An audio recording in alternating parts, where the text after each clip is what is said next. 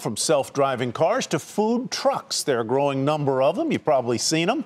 For entrepreneurs who love to cook, the Meals on Wheels route is a lot less expensive than opening up a traditional restaurant. And food trucks are turning out to be very lucrative for the best operators. Kate Rogers has our story. When Ben Van Leeuwen and his partners started making their artisan ice cream in Greenpoint, Brooklyn back in 2008, they had no idea what a hit it would become. There you go. With just $50,000, Van Leeuwen Ice Cream hit the streets of New York City looking for the perfect location. We drove to the corner of Green and Prince, and by the time we had opened the window, there was a line of 30 people. This is the peanut butter chip and the crowds kept coming. Today, the company has six food trucks and nine storefronts in both New York and Los Angeles. Their ice cream, featuring unique flavors like honeycomb and vegan mint chocolate chip, even retails in Whole Foods in the Northeast and California. And the business is on track to do $20 million in revenue next year. Food trucks like Van Leeuwen's have been growing at a faster rate than traditional restaurants over the past decade, but that growth is expected to slow in the years to come due to regulatory hurdles it's very challenging to make them work financially in New York City.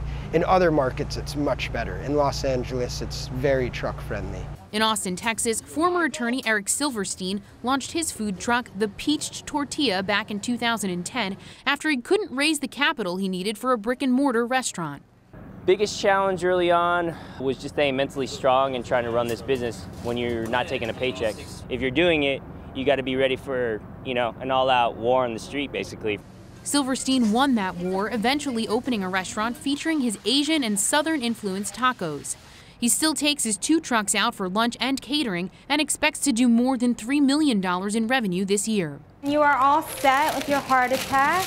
MacMart's Marty Lieberman also went the brick and mortar route after her mac and cheese food truck became a hit in Philadelphia in 2013. It was only within the first few months of being on the truck that our first catering jobs came in, which is an aspect of the business we didn't even realize would be so lucrative. She and her sister Pamela wound up launching a MacMart storefront, still using the truck for catering and private events. The truck is booked up through 2018, and her business is set to do about $1.5 million in sales in 2017. People come from New York, people come from Los Angeles, people have come from England. We get requests from Brazil. It's just super rewarding to hear how many people love our product. You have a wonderful day. For Nightly Business Report, I'm Kate Rogers.